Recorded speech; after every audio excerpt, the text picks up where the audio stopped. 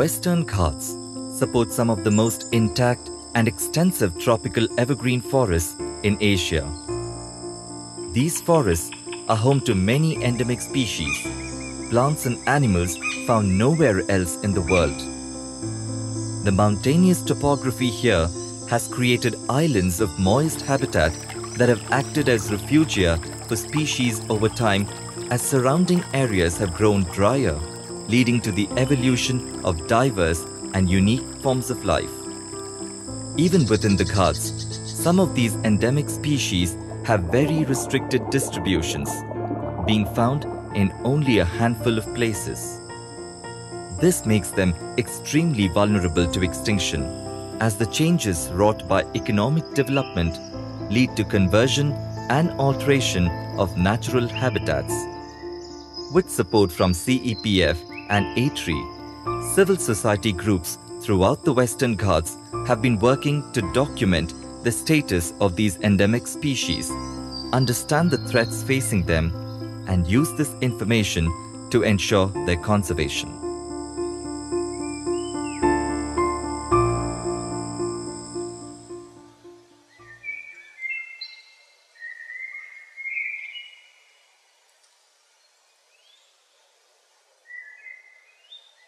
Myristica swamps are very unique forest types of the Western Ghats, uh, where you have this dominance of a particular family, is a nutmeg family called the Myristicaceae.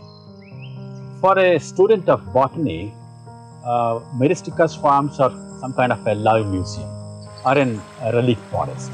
Basically because there is a very intricate uh, relationship between the animal kingdom and the plant kingdom Frogs are the most important endemic uh, wildlife that are associated with the Myristica swamps. About 60% of the species that are found in these uh, Myristica swamps are endemic to the Western Ghats. The species that are endemic to this habitat have originated extremely long back in the evolutionary scale. Swamps are extremely important to the ecosystem. Basically, they act as a drain of the Western Ghats. In fact, all our perennial water sources like the rivers are fed by these swamps. In the Western Ghats, you have the freshwater swamps feeding the entire village both for the drinking purpose as well as for the irrigation purpose.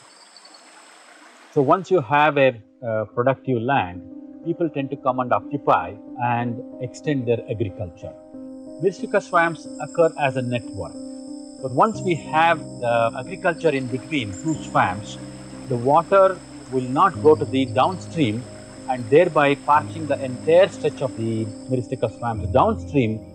So perhaps this is one of the biggest problem that is facing the Myristica swamps. Once these Myristica swamps are separated from one another, they become fragmented. This fragmentation has a multitude of uh, uh, influence on wildlife too basically because the canopy is cut off, the canopy animals cannot move so quickly, the frogs cannot exchange the genetic uh, material from one swamp to another swamp. So the whole lot of uh, cascading effect is there because of the fragmentation of the Myristica swamps. Firstly, we wanted to know where all these swamps occur. What is the status of them in terms of their diversity? What is the status in terms of their connectivity? After that, we focused on some of the degraded uh, Myristica swamps and then how they can be brought back to the original swamp conditions through restoration activity. Restoration of a swamp species requires to understand the biology of the endemic tree species. Secondly, we need to understand how they can be grown in the nursery. We wanted to have a participatory role of the people so that they also are a part of the conservation and restoration activity. We established these village forest communities as well as the swamp restoration committees within these villages so that there is an active participation of the villagers for this project. The most important outcome has been to demonstrate the degraded swamps can be now restored through active plantation of the unique species that are there in the swamp. The swamps that are downstream the degraded ones have been greatly benefited in terms of the water flow, in terms of the life forms that they support. We realized that there must be some kind of a legal protection that should be extended to the Myristica swamps. Perhaps for the first time, because of the lobbying of our project, Karnataka Forest Department has come out with the declaration of the uh, conservation reserves, which involve Myristica swamps. The grant from CEPF was uh, very important for us to augment the ongoing activities of the colleges, ongoing activities of the forest department, and uh, basically they gave us a framework of combining a department, an education institute, and uh, uh, involvement of uh, villagers on a participatory mode. The CEPF framework brought many players on a one platform where the conservation activities can actually take off nicely.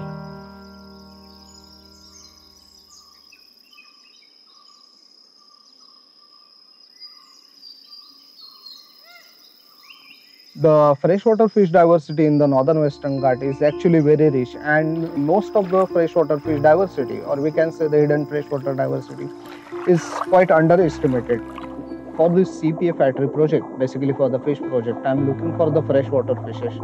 And we are exploring the almost all freshwater habitats from the primary streams to the secondary streams and till the main river channels. The rivers of the northern western ghats there are lots of studies but most of these studies they are focused on the east flowing rivers. There is no data on these uh, west flowing rivers and these are very small rivers so may not be the major attention for the researchers they are relatively less explored and that's why we are looking for this region as a conservation priority the major threat is the habitat degradation and there are many reasons for the habitat degradation for example mining quarrying then the pollution and uh, the mega dam constructions for the hydroelectric power plants. Without proper taxonomic study, we can't actually put up the conservation strategies for any group of the fauna or the flora. If we have the primary data and uh, distribution range of the particular species, how many widespread species are there, how many really endemic and threatened species are there, we can set up the conservation priorities for the freshwater fishes. Major objective of our project to fill the gaps in between the knowledge of the freshwater fish diversity from this region to report the whatever extant freshwater fish fauna we have in this region by using the all integrated taxonomic approaches. The second objective of this project is prioritize the areas for freshwater fish conservation. There are some scheduled tribes in the Raigad district the Katkari community is mostly depend on the freshwater fish resources from this region. They usually fish in the rivers. They don't fish in the other habitats like the marine habitats or in the estuarine habitats. They mostly depend on the freshwater fishes, basically uh, for their own consumption.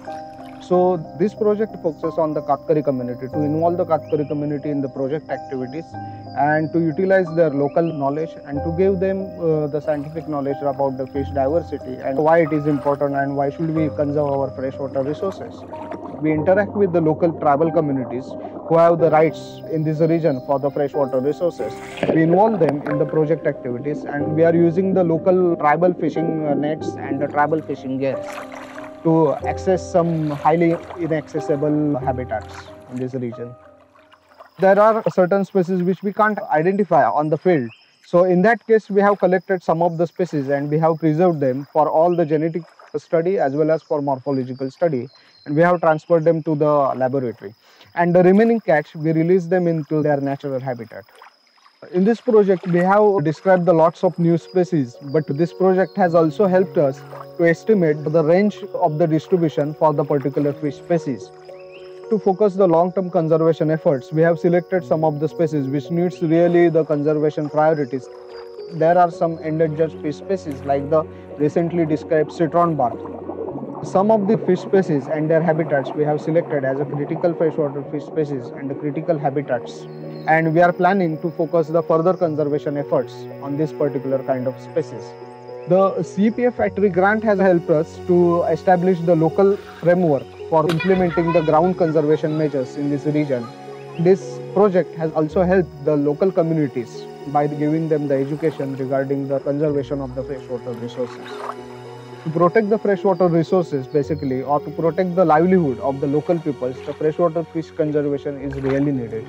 And the number of the species what we have in the western ghats or in the pockets of the western ghats can reflect the health of the rivers or the health of the freshwater habitats in this region. Therefore, the conservation of the freshwater fish resources is really needed in this region. The Western Ghats have been a refuge for biodiversity through millions of years of geological history, enabling species adapted to moist conditions to survive past episodes of global climate change and generating the incredible diversity of life forms that amaze and intrigue us today. By generating new information on endemic species, especially ones from lesser known groups, and by demonstrating effective models to conserve them, CEPF grantees are helping to ensure that the Ghats remain a refuge for biodiversity. These efforts will help the Western Ghats to retain healthy ecosystems that are resilient to the impacts of climate change and able to support healthy and productive human societies.